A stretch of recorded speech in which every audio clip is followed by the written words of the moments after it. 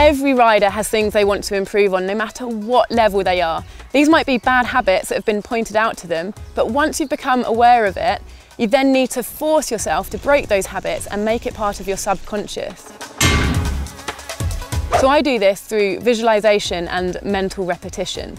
So I will actively break down the things that I'm trying to improve on and then visualize it in my head in my downtime. So that might be when I'm driving in the car, it might be when I'm getting my bike ready in the car park, or it'll be when I'm pedaling along the fire roads. So the key is to get all of these techniques drummed into your subconscious and your muscle memory so that if you're tackling a feature that you do find difficult, you can concentrate on the specific techniques that you need for that feature. The things that these are generally useful for and that are on my own personal list are reminding myself to always look up, keep my chin up and looking straight ahead, not falling back into the habit of looking down at the path in front of me.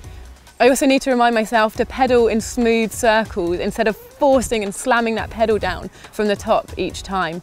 And finally, remembering to keep a central body position, because if I do go into features that I'm worried about, it's so easy to slip back and then I have no room for error. So if I always have a central body position, then I'm pretty much ready for anything that the terrain's gonna throw at me. These are things that I need to do whenever I'm riding my bike for the whole ride from beginning, middle to end. I guess the key is reminding yourself to remind yourself until it becomes part of your subconscious.